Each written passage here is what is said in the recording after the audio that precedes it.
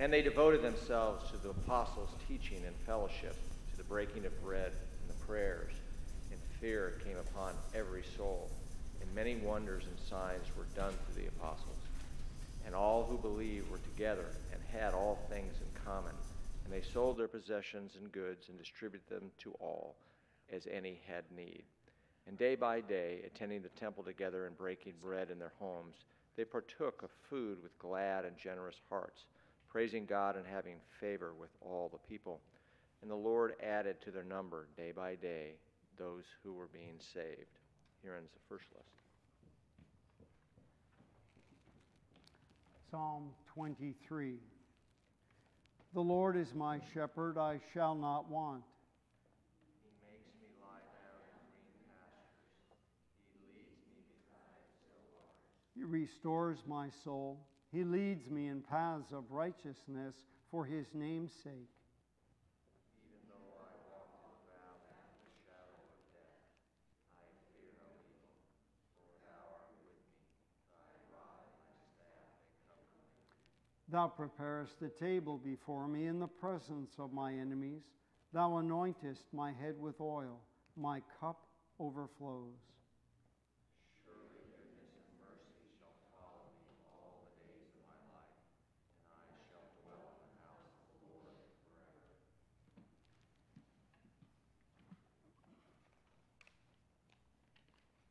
This morning's second lesson comes from 1 Peter, the second chapter, beginning with the 19th verse. For one is approved if, mindful of God, he endures pain while suffering unjustly. For what credit is it if, when you do wrong and are beaten for it, you take it patiently? But if, when you do right and suffer for it, you take it patiently, you have God's approval.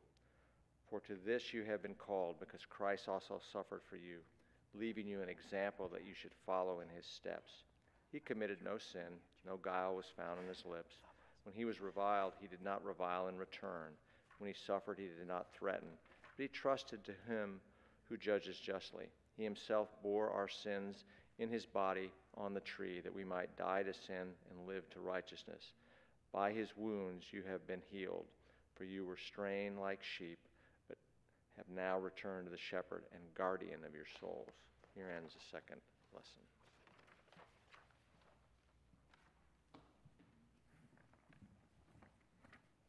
Please rise for the reading of the Holy Gospel. The Holy Gospel according to St. John, the 10th chapter. Glory to you, O Lord. Truly, truly, I say to you, Jesus says, he who does not enter the sheepfold by the door, but climbs in by another way, that man is a thief and a robber. But he who enters by the door is the shepherd of the sheep.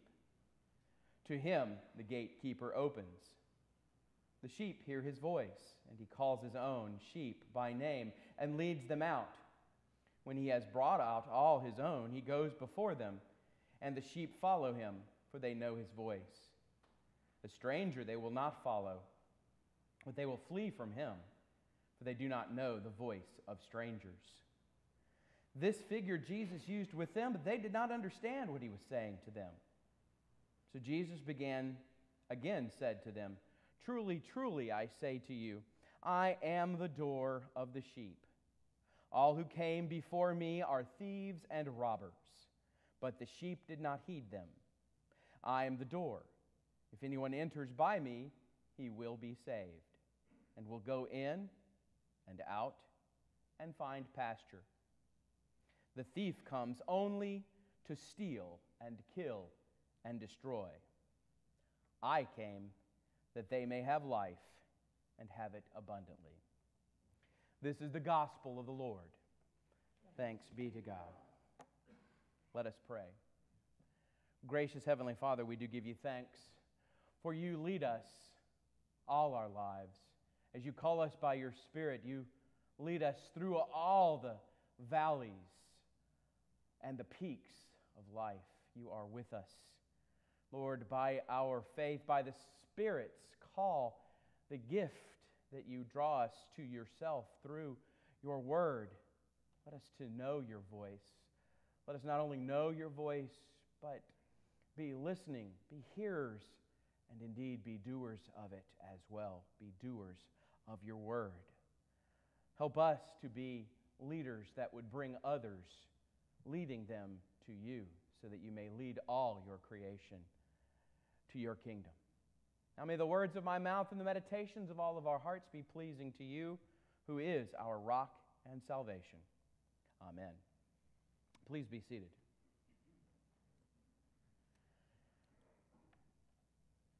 You know, I really do believe, as disciples of Christ, that we are all called to be leaders, leading others to Christ. If you stop and think about the Great Commission, that's precisely what our baptismal ministry is all about bringing others to Christ as the Spirit has led us. It, it's kind of like being conduits in, in many ways. I, I've learned a lot of things over the years about doing things here. I've learned how to do PVC, uh, piping, and all. Uh, not real good, I'll grant you, but uh, I, I, I can, you know, I can kill a nail with anybody these days. That's for sure. But I have learned quite a few things, and one of the words that I have learned over the years is what a conduit is. You know, it's that, it's that stuff that they use to put wires through. It's making sure that something gets from one place to another. That's what a conduit is. And so, in many ways, and, and if you're going to pull a wire through it, right, you've got to have some kind of leader to run it through. Now, of course, Jesus is the not just the good shepherd, the great shepherd, leading us through the, the, the dark places to the light. And I always kind of think of that as I reflect on this particular text. In preparing for today's sermon, I came across an article published in Stars and Stripes magazine back in 2012. And those of you who don't know, Stars and Stripes is kind of a uh, an umbrella uh, publication uh, serving the military community at large and has been doing so, goodness gracious, I think at least since World War II. And I came across an article talking about leadership, and it was particularly focused on some Navy leadership and some issues that they were having in the Navy, but it, it talked about something called the Bathsheba syndrome. I, I have to say, the minute I saw that title, I was more than just a, a little intrigued. And so it mentions this in terms of the top brass in the Department of the Navy trying to discover a cause for misconduct among some of its senior leadership. And how could the Navy decide, uh, or, or stem the tide rather, of, of all of these offending commanding officers, the people that had gotten very high up in leadership in the Navy? So one suggested perhaps, I don't know if you remember, uh, you know, about 20 years ago, and I was describing this to some of the kids last week. Remember the, the, the old wristbands, WWJD? Do you remember what that stood for? What would Jesus do? Well, it was interesting because in this article they were talking about how the Navy could do this is, is WWDD. What did David do? And I, I thought that was kind of an odd approach. Obviously, they're talking about King David in this case, he of Old Testament legend, one famed for slaying the great Philistine Goliath. The all powerful, or at least so seeming, leader of ancient Israel was known for lots of things, of course, but also a stunning moral lapse in judgment, sending one of his top soldiers, in fact, his very top soldier, Uriah, off to die, in essence, so that he could possess Uriah's wife, and her name was Bathsheba. Now, this might seem like an unlikely cautionary tale for the military to embrace, but this so called Bathsheba syndrome has gained some sense of currency within the Navy in the past few years in its attempt to curtail uh, commander misconduct. Now, interestingly enough, it, the whole idea is actually borrowed from a business journal article that was published in 1993. And this is the title The Bathsheba Syndrome Ethical Failures of Successful Leaders. And it was published, uh, like I said, back in 93. And it asserts that the ethical failures of leaders is not, and this is the author's words here, not the result of low morals, but a byproduct of success. I have to say, I started pulling on my goatee about that point. I read a little bit more. Where the author, or one of the co authors of the article, a man by the name of Dean Ludwig, a, a business professor at a, at a university, uh, said this quote, offered this quote Anytime someone is promoted into a leadership position, it can engender a sense of privilege, a sense of power, and the ability to cover one's tracks. And I got to thinking about that, and the whole idea of what this article seems to be proposing. And I, yeah, I got to tell you, I disagree a little bit with that.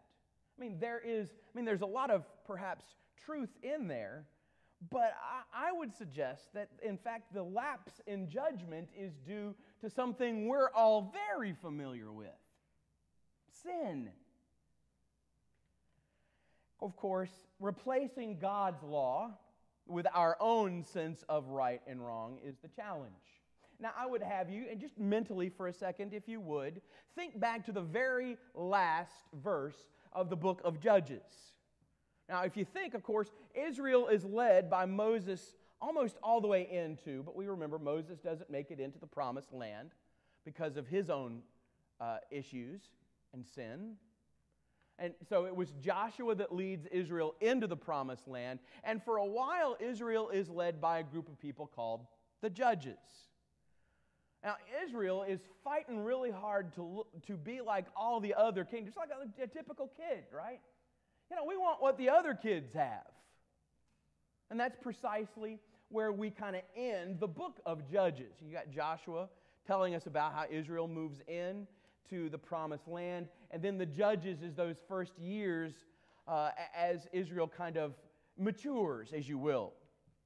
And so they start to say, hey, uh, how come we want a king like the other kingdoms do? We want, we, want to, we want to have the same toys all the other big kids have.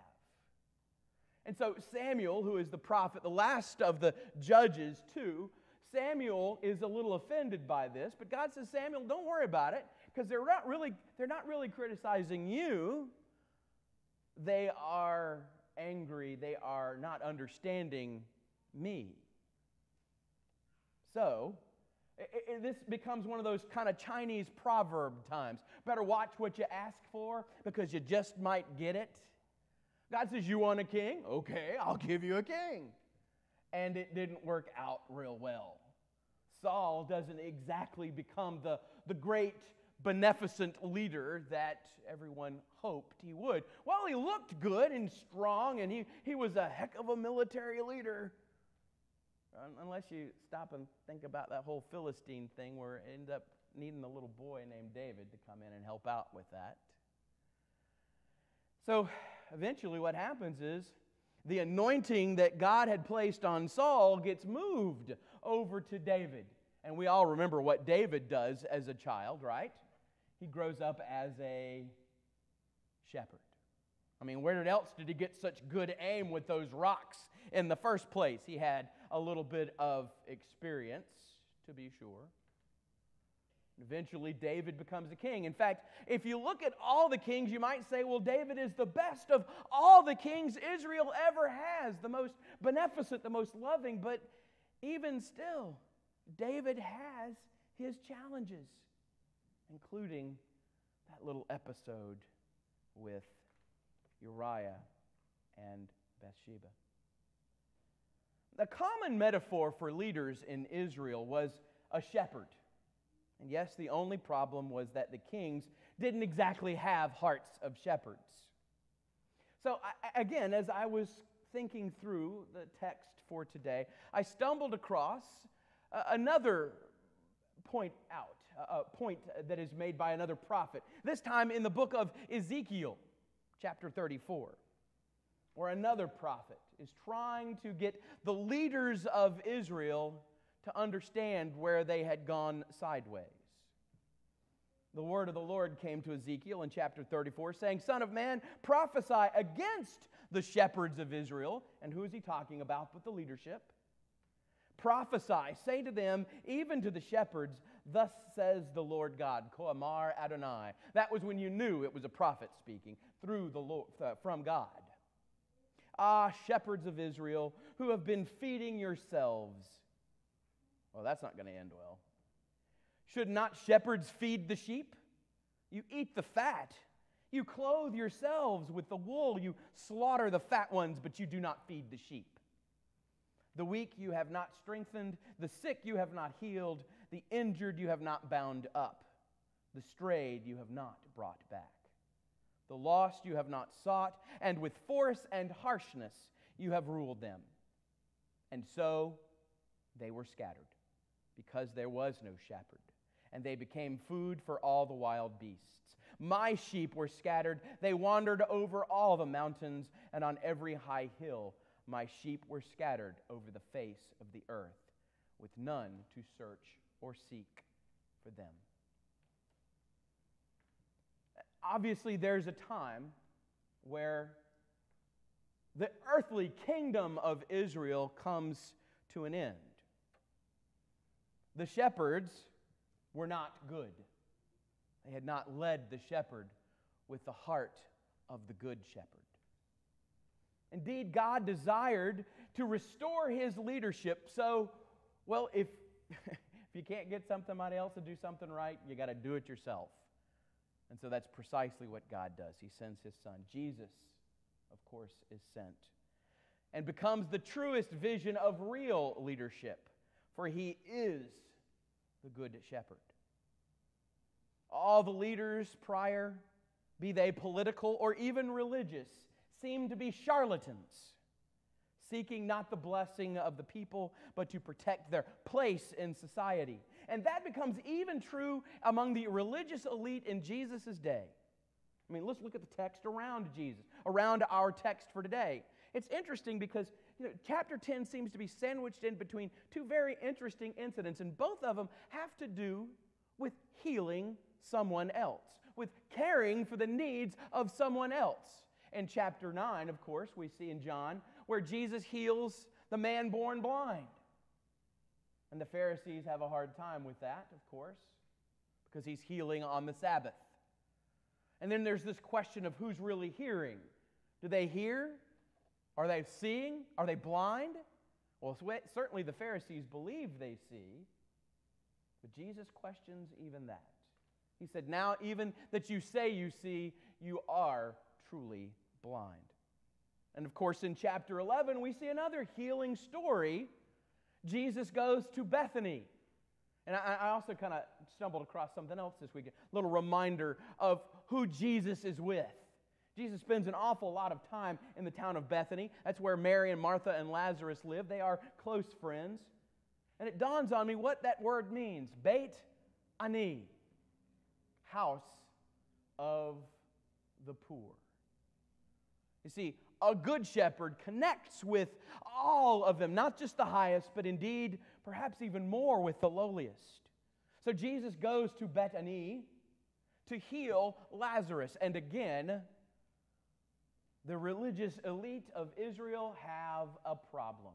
But now it's even worse because Jesus has raised Lazarus from the dead. Many more are now convinced that he is the Messiah. And for that, well, we can't have another messianic uprising. The, what would the Romans do? They feared the reprisal. So, what does the chief priest of the, t- of the day say? Caiaphas gets up and says, It is better for one man to die than for the entire nation to perish. Hmm. Sounds like somebody trying to protect his position in society.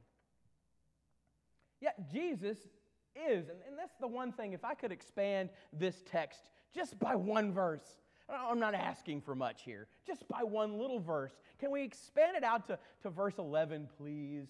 Maybe I should write a letter to the people who, who, who do that, that lectionary.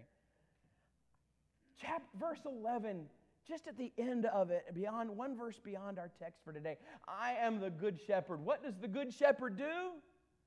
He lays down his life for the sheep. Jesus doesn't come to be an earthly king. And so that it makes it that much more important that Jesus does lay down his life. But the great part is he doesn't just lay it down. This is Easter, is it not, friends? And he picks it right back up again. For us and for our salvation, the Nicene Creed reminds us.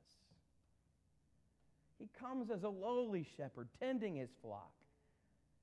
And that humble yet protective voice is still familiar because it is received by faith, a gift of God's grace through the Holy Spirit. We want truth. Here's the truth all human leadership is bound to fail simply because it is that, it is human. And therefore, it is sinful. In God's plan, Jesus comes to reveal true leadership. The good leader, the good shepherd, leads the flock into pastures where the green grass grows, where the still waters flow, and where in the valleys become dark and brooding he still leads on. It's one of my favorite hymns. Jesus still leads on till the rest is won. Jesus is leading us because he is the good shepherd. He leads us through the dark into the light. All of those leaders who had come before Jesus, he made uh, that point pretty clear. They were all simply thieves and robbers, used by the ruler of this world. That ruler, of course, is a thief that our text reminds us comes to steal and kill and destroy. The very antithesis of Christ, mm, the anti Christ. But Jesus, who is the Christ, has come with life and that abundantly, eternally. Yes, the Good Shepherd does lay down his life for the sheep. But, in this great Easter moment, he takes it up again, showing us that sin and death and Satan have met their match. And that offers us hope as well. So we have nothing to fear, particularly in getting what is coming to us. The good news is that we don't get what we have coming to us as indeed forgiven sinners. We have what we deserve, no, but what we receive by grace, we await the kingdom of God. This is the abundant life that Christ shares. So, we, as disciples of Christ, walking in our baptismal ministry, receiving this meal, the bread of life, the blood that forgives us, that brings us closer, where we become what we, what we eat, the body and blood of Christ, working and leading in this life but most importantly, through our actions and through our words, leading others to our Good Shepherd as he leads us all home. That is the best news of all. Thanks be to God. Amen. Let us take a moment to reflect on that Word of God and the will